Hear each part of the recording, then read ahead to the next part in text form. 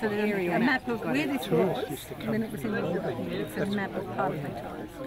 Certainly, the paddle was great when we went from uh, Mill Point out to the bee farm because that's been a big part of our community engagement has been to actually get people onto the lake so we're not just always sitting around talking about art or or the environment we're actually out there becoming really aware of of how beautiful it is and, and, and what a different experience you have of East Gippsland in particular when, when you actually get on the water.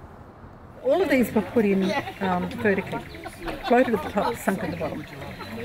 One big piece, I, I cut a nine metre piece of cotton canvas and I lay it horizontally in the lake, in, in water like just kayakable, that kind of depth and I just you know, put bars in the ends of it, spread it out, and tied it off at the corners, and left. I camped beside that last year. I camped for a month and watched it. And so on top, the, all the mud and the silt and the flocculation from the water settled. And underneath, algae and things happened underneath. And when I pulled it out and um, hung it up, the underside had lovely rust-coloured patterns. Just, just I assume it's an algae. I don't know. I, I, don't, I know nothing really. I just put it in there and pulled it out, and, and it, it was a beautiful thing to work with.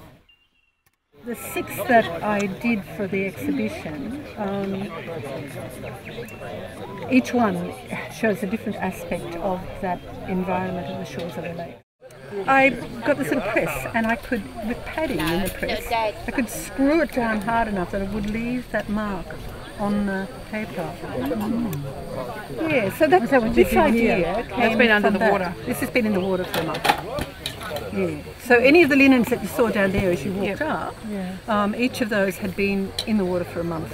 And then I would bring it home and work over that. Um, it was a two-year process of work because the first, basically the first year, I worked out what fabric to use and how long to leave it and how quickly would it rot and you know what would happen when I, if I put um, fabric in the water. And you know it, it depended on a lot of different things, like how warm it was and whether it was salty or fresh or had had the lake just opened and was carrying tons of mud down the lake phases of the moon while this was in the water. Ah. So it started on a half moon, went through to awesome. so that's oh, wow. the phase. And this one here which is, that, that's a moon. This is, the sun.